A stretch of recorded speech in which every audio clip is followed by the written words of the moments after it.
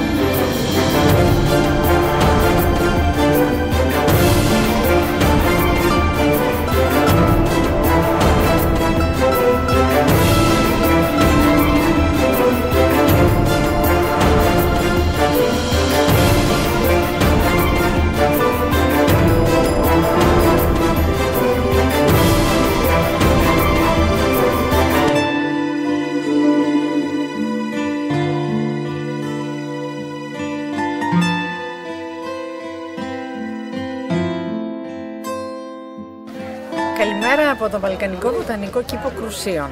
Είμαι η Ελένη Μαλούπα, η υπεύθυνη του κήπου και διευθύντρια στο Ινστιτούτο Γενετικής Βελτίωσης και Φυτογενετικών Πόρων του Ελληνικού Γεωργικού Οργανισμού Δήμητρα.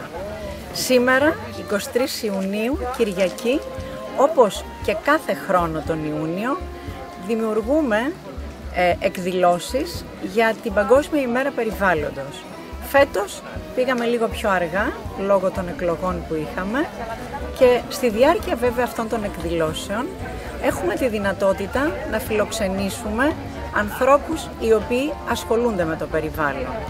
Φέτος θα εγκαινιάσουμε την έκθεση φωτογραφίας που έχουν δημιουργήσει δύο ομάδες φωτογραφικές, η ΦΥ και η Φωτοπόρη, με αρχηγό τον Τάσος Σχίζα, οι οποίοι ε, μπήκανε στον κήπο, έβγαλαν φωτογραφίες. Με τις φωτογραφίες αυτές δημιουργήσαμε το ημερολόγιο του 2019 και οι φωτογραφίες αυτές αποτελούν το αντικείμενο της φετινής έκθεσης μέσα στις κτηριακές εγκαταστάσεις του κήπου.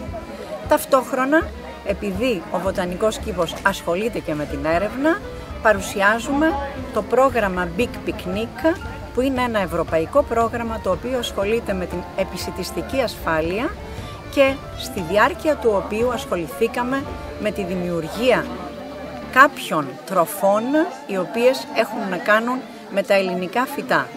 Αυτές μαγειρεμένες θα παρουσιαστούν φέτος στον κόσμο, ο οποίος θα έχει τη δυνατότητα να τις δοκιμάσει και οι οποίες βέβαια περιέχουν όλα τα θρεπτικά συστατικά τα οποία χρειάζεται ο άνθρωπος. Όπως κάθε χρόνο, έτσι και φέτος, ο Περιβαλλοντικός Σύλλογος Περιπατητών Κυλγής παρίσταται στη γιορτή περιβάλλοντος του Βαλκανικού Βοτανικού Κήπου Κρουσίου. Ε, σε συνεννόηση με την δόκτωρα Μαλουπά Ελένη, που μίλησε προηγουμένως, έτσι ήρθαμε και φέτος ε, θα επισκεφτούμε και την έκθεση ματιές, ε, φωτογραφική ματιές στο Βοτανικό Κήπο που είναι μέσα στο κτίριο.